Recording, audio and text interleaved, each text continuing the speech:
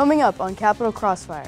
First, an interview with GW Votes from the Nashman Center to discuss ways you can get involved and vote in this next election. Next, our Crossfire correspondent Cassidy Corey spoke to students in Kogan to get their take on the latest in the presidential race. And finally, our student panelists discuss current issues such as the state of the 2024 elections and the presidential debate between former President Donald Trump and Vice President Kamala Harris. Joining us today for our discussion, Nate O'Brien, a junior representing the Nashman Center Group GW Votes, Stephen Garvey, a junior political science major and, and the coalition's director of Swing Left, Max Monson, a senior American Studies and political science student, and Arianna Campi, a junior, a Middle Eastern Studies major, and the secretary of Bridge GW. I'm Meg, and from the GW TV studios in Washington, D.C., this is Capital Crossfire. Access to voting and mobilizing our public to vote are essential parts of any democracy. With this election poised to be one of the most consequential in our country's history, we have questions about the importance of casting our vote, voter apathy, and the impact of these issues going into the upcoming presidential election. With that, let's turn to Nate O'Brien. Thank you so much for being here this morning. Hey, happy to be here. How does GW Votes work? What does the organization do to facilitate civic engagement and get students on campus involved? GW Votes is a nonpartisan um, coalition of students, faculty, and staff uh, that just serve to promote voter engagement and uh, civic participation on GW's campus and like the wider DC area. Mm -hmm. um, so basically, uh, what we do is we spend most of our time, especially in these election years, uh, planning events to uh, field a lot of the questions that students have um, when they're registering to vote. Uh, we also are comprised of an ambassador team, which is our student volunteers uh, branch, um, which is, has a ton of great people that we work with that uh, staff our events, do research with us, uh, make our marketing materials as well. So they're really the backbone of it. And then we have our task force, which is the faculty part. Um, they are like the heads of like, uh, like different schools and um, different like um, different like staff and faculty members around GW uh, that we work with. Um, and we try to get people involved in a lot of ways. Our ambassador program is really how we do that. It's like a, we will set them for a scheduling, uh, a tabling event uh, that we do with us. That's like peer-to-peer -peer interactions with students. And I feel like those conversations are really when like our work kind of thrives. Um, so we try to like really focus on that student-to-student -student interaction. What are some of the students, or what are some of the resources that students can use to register to vote if they haven't done so already? For sure, that's a really good question. There's a ton of uh, avenues to go down. Um, when you're registering to vote. What we use is TurboVote. Um, it is like kind of an all-stop shop um, for registering to vote. It'll connect you with resources to your state since every state has different um, voter registration uh, guidelines and processes. Um, so we use TurboVote. Um, it's on our website, uh. Uh, it's also like just, you can just search up TurboVote.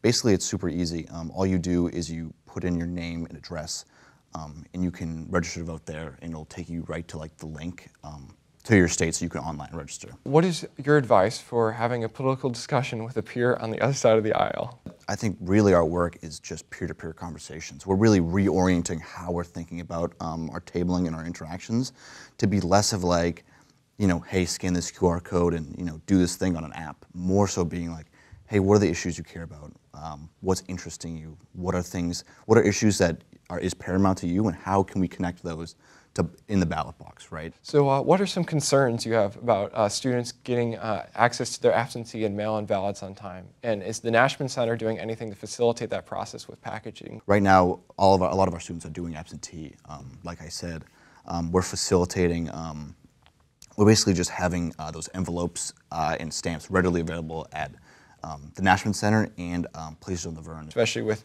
you know these uh, the, you know the candidates this year, you know a lot of students still might be undecided, and you're not really you know motivated to go out and vote right now. Um, do you have any advice for those students? For sure. I mean, if I were to say one thing, it's just you know think about what you care about. Uh, I I do this myself. Like I try to reorient, you know, what I'm thinking about with everything on the ballot because it is more than just one election. It's more than just one person or two people. If people are feeling, you know less inclined, I just I invite them to really think about um, what's important to them. It's uh, important that we you know get you guys out, and you know we're excited to give the privilege to you know let you guys you know speak to the students here at GW. Are you registered to vote in November? Uh, yeah, of course. I am registered to vote in my home state of Ohio. I am. I am pre-registered. I turn 18 um, in October, so. Okay. Pre-registered. Are there any specific like topics or world events that are influencing you to vote? Yeah, definitely. So I'm really interested in foreign policy, whether it's the war in Ukraine or the war in the Middle East. So I want to make sure we have a president and a Senate, you know, who will be strong on foreign policy, um, and also issues, you know, uh, including threats to democracy. I mean, there's a lot of rights that got to be protected, and I'm looking. I'm gonna listen to what the candidates have to say, and try and do my best to protect those that need protecting. You know. I grew up in a very politically active household, so I wouldn't say that. Um, I wouldn't say that in recent times I've been influenced, but I mean definitely with. Uh, I've been more um, excited to with uh, with Joe Biden's dropping out of the race this summer, um, and with our with um, my opportunity to, to vote for um, a female candidate. How do you stay up to date on information for the campaigns? We've got the GW Hatchet, which is great. Yeah, definitely. I'll always look at that. If they've got some articles, I'll always go through those. Um, I'm always surfing through at least three different news sources. So, like uh, NPR. Um, the list goes on. There's so many news sources, but I'll go through a big list, try and do my best to stay on top of it. You know, look at what they're putting out there on their own campaigns, their websites, and yeah, that's what I do. Um, I follow a lot of like, um, well, I have the New York Times like updates and stuff, so I get updates on like, um, with the, uh, pro- with that, all that. But I also like follow a lot of their like uh, social media accounts, like on Instagram, X. Well, I call it Twitter, but X, and um, all that. Um, did the candidate change from Biden to Harris uh, change your opinion at all, or like, cre- do you think it created more enthusiasm, or what do you think? It didn't change my opinion, but it definitely changed how excited I was to vote because I'm a Democrat. I was going to vote for our candidate. Um, but before I was doing so with the notion that it's probably not an election that we're going to have a chance of winning. And now it's it could be I'm not sure if I'd go so far as to say a transformative moment, but definitely one that people are excited about.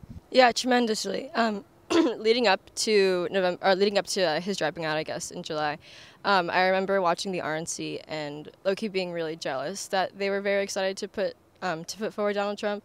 I was like, I really wish there was somebody. I wish I, I really wish I had the same enthusiasm um, about Joe Biden. Um, I just I just didn't. And um, but it, it I was um, I guess recharged with Kamala Harris's uh, entrance. What's your opinion on the debates uh, for campaigning? Do you think they matter? Yeah, well, I up until this uh, past June, I, you know, was, you know, kind of like a lot of other people, didn't think the debates had much of an impact these days. Besides, you know, everybody sits down and kind of cheers for their camp. Um, that definitely got proved, uh, proven wrong when uh, President Biden dropped out of the race. So I'm really interested to see now if Harris can use it to define herself and hopefully show a little bit more of a policy side because right now she's just kind of riding on momentum.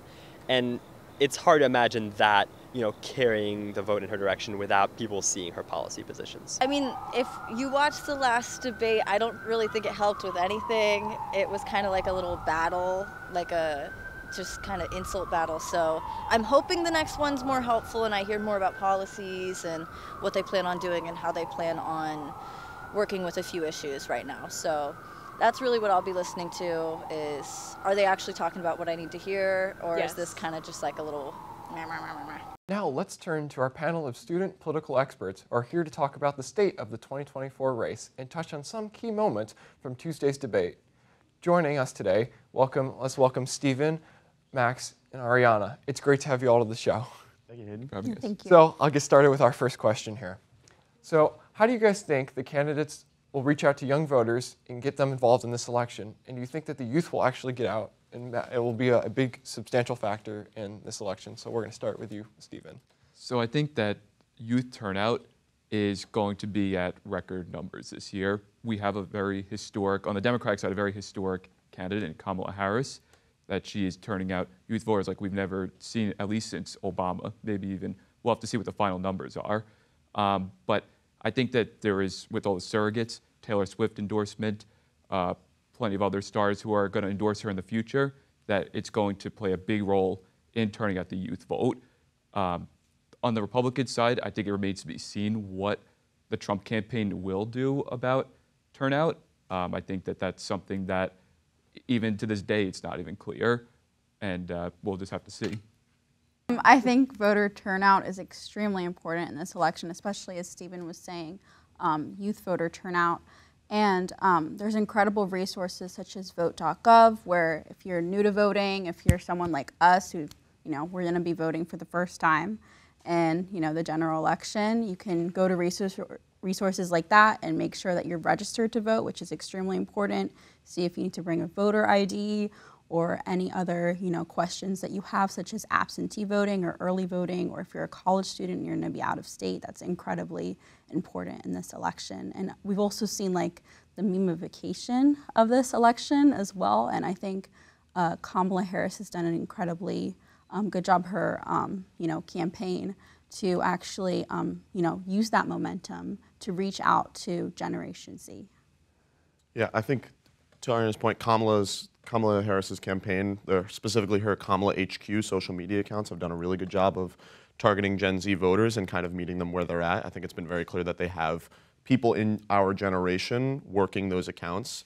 Um, I think to Stephen's point, I disagree. I think the Trump campaign does have a message to Gen Z voters, specifically young, straight male Gen Z voters. They have been doing some very specific non traditional media going on podcasts and other things that reach out to that specific type of voter, Twitch live streams, and they understand that if they want to have any chance of winning this election, they need to take a subsect of that Gen Z vote. And even though all polls and everything will indicate that a majority of the Gen Z vote will be voting for Kamala Harris, they don't need to win a majority. They need, if they want to try and win this campaign, to get a certain subsect of that.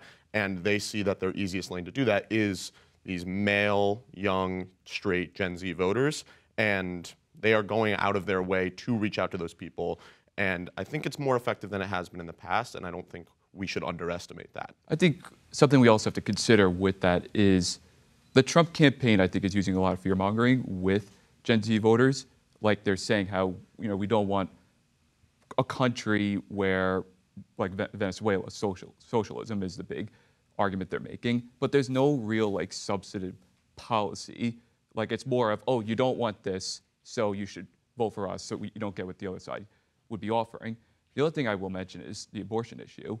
A lot of Gen Z voters are not happy with the Dobbs decision from two years ago, and that is something that Trump played a big role in, in appointing three of those five justices who who uh, ruled in favor of uh, Mississippi or Dobbs. So anyway, that that is something that is going to play a huge role. Voters in this country, red states and blue states, support people's right to choose whether or not they have an abortion. That was proved in Kansas. That's been proved in blue states and red states, like I said. So there are certain states this election cycle that have an abortion ballot measure that will be on their ballot in November. And I think people will come out to vote for those ballot measures. We've seen that proven in 2022 and in 2023. So whether or not those people will also be filling out the spot on the presidential ticket, I think is the key to this election for both for both teams. When you look at both of these candidates, they do have clear policy issues that you have to remember. And um, you know, when you're voting for the first time, you definitely have to do. When you're voting in general, um, whether you're a young voter for the first time or someone who's been voting for decades, you do need to do your research about the policy issues of both candidates.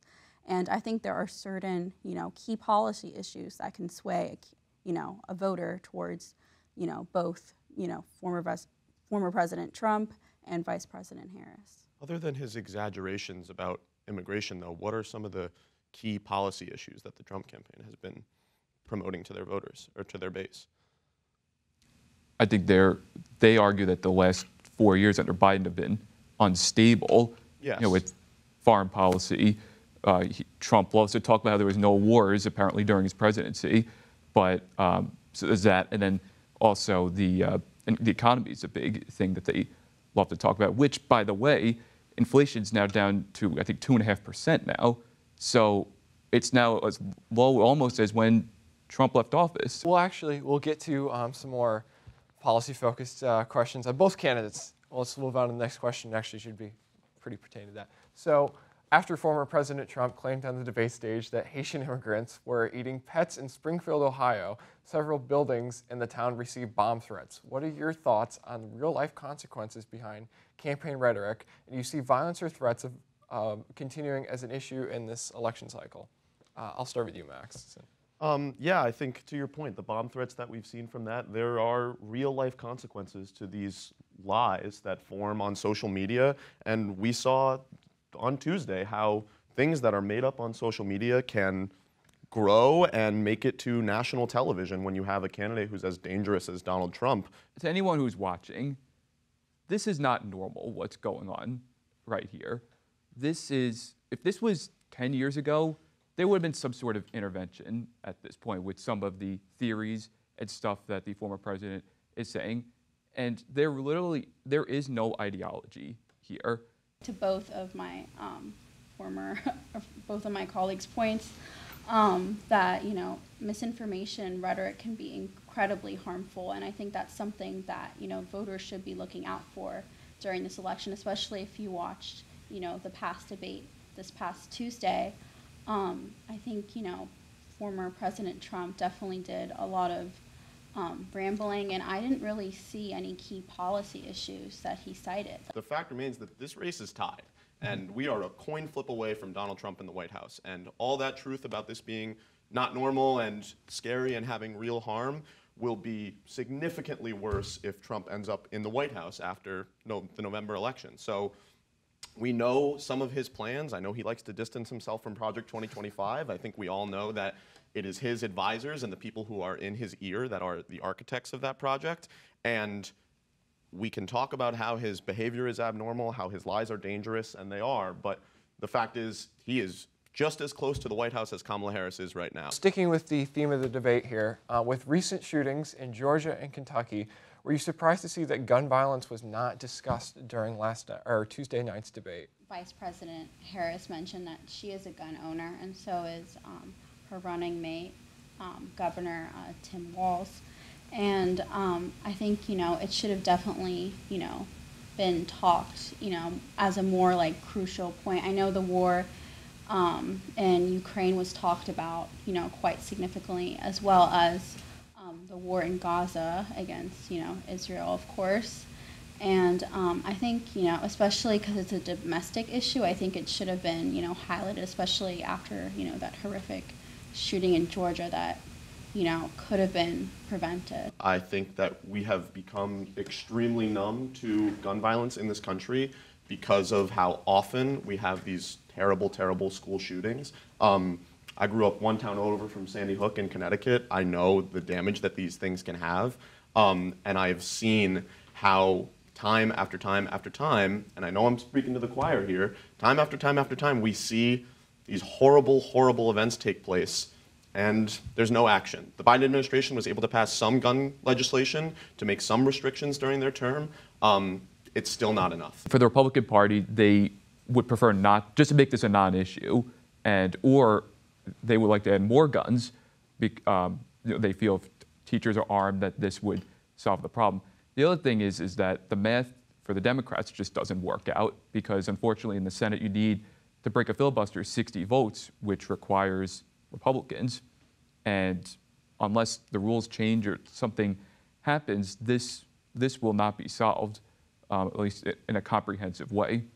Do you really think, though, that it's because Republicans want guns so bad, or do you think it's because lobbyists from the gun, from gun lobbyists, excuse me, and people from the NRA are so vehemently anti taking away anyone's guns, and they know they'll lose funding and support from that incredibly powerful organization?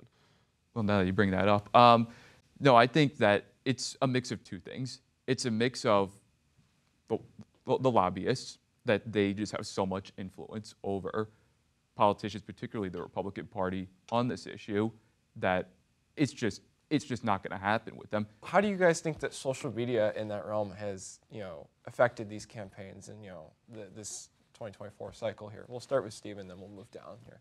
I think the one of the benefits of social media is we could see everything that's happening in real time.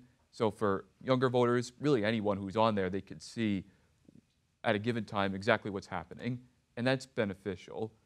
The, the problem is, is with social media comes you could post whatever you want, and if you post something, a certain amount of people will believe you, and that is one of the biggest challenges and crises we're dealing with now is that anyone who knows if they're inside the country or not or who, they are, can put something up that's just blatantly false. And there are a certain amount of people who believe it.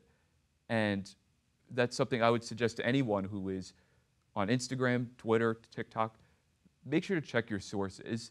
Stephen definitely made a great point about checking your sources, um, especially for younger voters.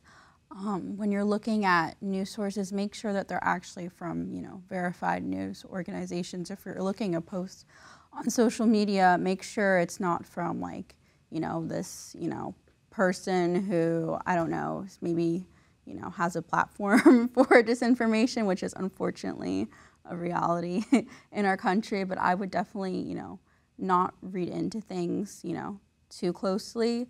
But at the same time, um, I think, you know, social media is, is definitely going to be incredibly crucial this election, especially since, um, you know, Generation Z and a lot of, you know, young voters, you know, check social media platforms probably every day if you, you know, were to ask them.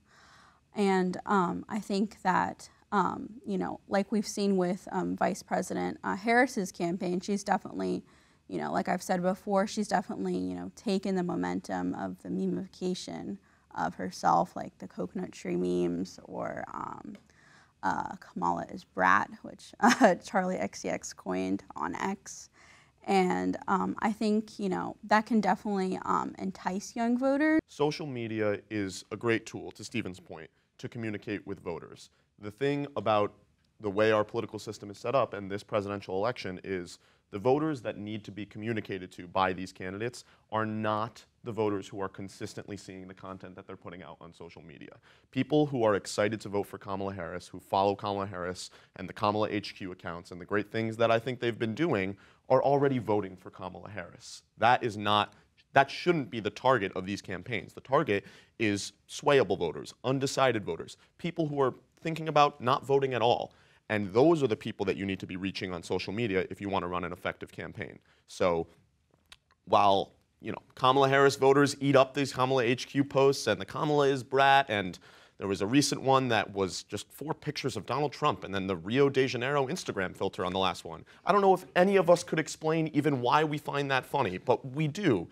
That is not going to do anything to convince the type of voter that the Kamala campaign, that Kamala's campaign needs to get out to win this election. Um, it's fun. I love it. Other people love it. But it's not going to do what they need to do, which is convince voters to come out and vote for Kamala Harris.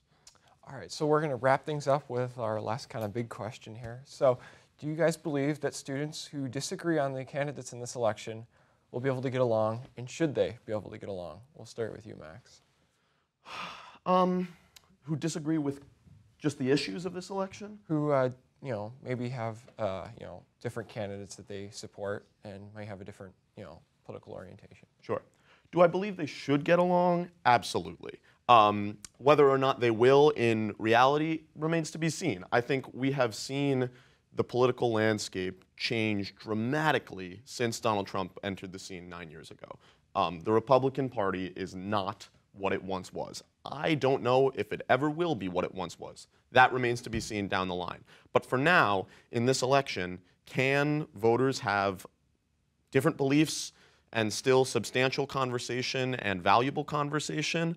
Um, I have not seen the case where you see a conservative and a liberal speaking to each other very cordially, peacefully about the issues, debating policy. And I think that's because that's not what the candidates are doing. We saw Tuesday's debate. That was not a riveting policy discussion. It was a bloodbath in some sense, in the sense that Donald Trump spent no time talking about real policy issues. He has concepts of a plan, as was meme to all hell. Um, so whether or not voters can get along going into this election, I think the fact that the candidates have no interest in getting along, specifically Donald Trump, we saw Kamala Harris have to walk all the way across the stage to shake his hand. Um, I think that is indicative of how the rest of the country is feeling about this issue. Yeah, to Max's point, I think, you know, actually, um, I'm the secretary of Bridge GW, which is an organization on campus. We actually um, have discussions with, you know, many types of voters, whether they're an independent, Democrat, or Republican. And I've seen students um, in these discussions frequently debate issues such as immigration, abortion, things about um, climate change, and you know, in a respectful way. And I think that's what we expect from our politicians. And to Max's point, um, you know, Kamala Harris did have to walk across the stage during the debate and shake Donald Trump's hand, but I think, um, you know, like you know what's been said, you know, this is not your father's Republican Party. This is a totally different Republican Party than the times of you know Dick Cheney and you know George Bush. And um, to that point as well, you know, I think that you know voters can have a lot of discussions about policy issues and should have respectful discourse about those issues. I think it's unfortunate that we get so heated and our minds get so clouded about certain issues when we really need to remember that you know we all have a, you know the same common goal. We all you know want to live in a society where we have you know inalienable rights that we believe in freedom of speech that we believe in believe in you know the right to vote uh, the right to certain, you know, an inalienable rights. You know, we all have that common, you know, goal. So I think, you know, we shouldn't, you know, let these issues separate us because that is only going to lead to a more divided country where, unfortunately, you know, it's the climate has become so calcified and so polarized that we forget that, you know, we're all Americans. We're all living in the same country, and really, you know, it's unfortunate that it's come to this, but I think, you know, in this election, we need to remember again that we're all, you know, we're all fighting for the same goal. I disagree. Um, we are not all fighting for the same goal. Um, I consider myself a liberal person. I don't think conservatives are fighting for the same America that I'm fighting for. You hear the things that they talk about, the way they speak about the issues. Um, they, they are living in a different plane of reality in a lot of sense. They are not working with the same set of facts that a majority of Americans know are the truth. Even Trump supporters. There are many Trump supporters who know how often he lies, how often he is stretching the truth to a very large extent. And I don't think I can say that I am fighting for the same America that Republicans are fighting for. I can say with confidence that I'm not. And I agree, we're all Americans. We should be able to debate the issues civilly, but I don't think that's where we are right now All right, let's get Stephen to finish this uh, conversation here. Yeah, so I think we should be talking to each other. Like I believe in like the power of listening, and you know, if you hear the other person's point of view, you might pick something out of it, or at the end of the day, you just might have agreeing to disagree. Um, the other thing I'll note is, is you know, we're younger, so we've got a long ways left uh, on this earth. So I think it would be unhealthy of us to not work with others and for us to hear the other side out and uh, try to find common ground and to try to get along. I will just say I'm a registered Democrat and I will be voting for Kamala Harris. But what I will what I will say is that you should look at you know these campaigns and voters should look at the issues of these campaigns and I think that, you know, in a democracy, you know, we're expected to have political discourse, and that's actually the backbone. It's very vital to democracy to have these conversations. And to your point, you know, I think a lot of, you know, unfortunately, a lot of Trump supporters will be supporting him anyways when they know that, you know, they know the harrowing facts of Project 2025 and that a lot of his, you know, former, you know, officials and senior advisors have, you know, written that, you know, 180 day plan. But I think at the end of the day, you know, even though, you know, those Americans may be clouded by, you know, Trump and his rhetoric and his dangerous agenda, you know, unfor- you know, at the end of the day, we do need to come together and, you know, bridge that divide. Well, thank you guys all for coming on today. Well, that's all for this episode of Capital Crossfire. Be sure to check us out online at www.gw-tv.com and follow us on Instagram and TikTok at GW Capital Crossfire. For all of, all of us at GWTV, I'm Meg. Thanks for getting caught in the crossfire with us. We'll see you back here next time.